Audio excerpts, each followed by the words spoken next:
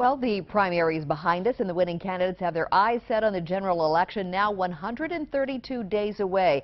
The big takeaway from the primary, voter turnout was dismally low. Only about 20% of eligible voters made their voices count.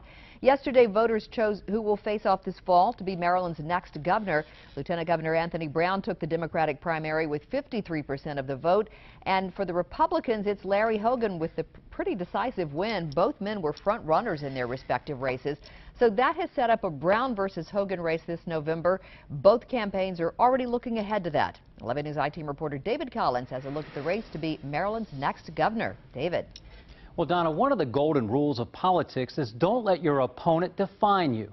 Larry Hogan is expected to frame the race around a theme of changing the status quo of high taxes and unfriendly business climate. Anthony Brown will tout his tax reform plans, but also expand the conversation to include issues surrounding education and the environment. Thank you to each and every one of you for making tonight possible. We did it. Thank you. The November face-off begins right now.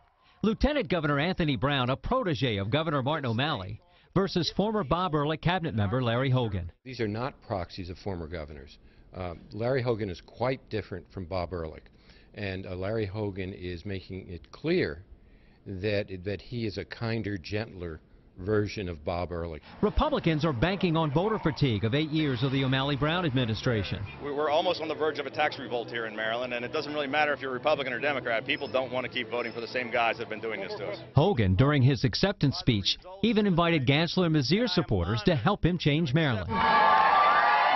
While Brown's primary message resonated with Democrats, He's now moving toward more moderate territory in the general election. Uh, we're going to talk about fiscal responsibility in government. There is going to be comprehensive tax reform. Doug Gansler's run for governor turned bumpy from the start. First, he suggested Brown is relying on his African American heritage to win. Then came allegations that he ordered his state trooper security detail to use their police powers to avoid traffic jams and to get in places quicker. His judgment came into question when he visited his son at a Delaware beach party where underage drinking was going on. Well, I think the main problem that Gansler had, had was, was not some of his missteps along the way, but that he never put together uh, a, a compact agenda. Heather Mizeur got 20% of the vote, but also became a spoiler. Heather Mizeur cost Doug Gansler any chance of winning. You put uh, their votes together, and you have a relatively close race. Three of the Republican candidates did not have the money to mount a competitive statewide campaign. Now, Democrats outnumber Republicans two to one in Maryland. Analysts say Hogan has a chance, but it may depend on what happens with the national economy. Discontent could sway some Democrats and independent voters to Hogan. Reporting live from the studio, David Collins, WBAL TV 11 News.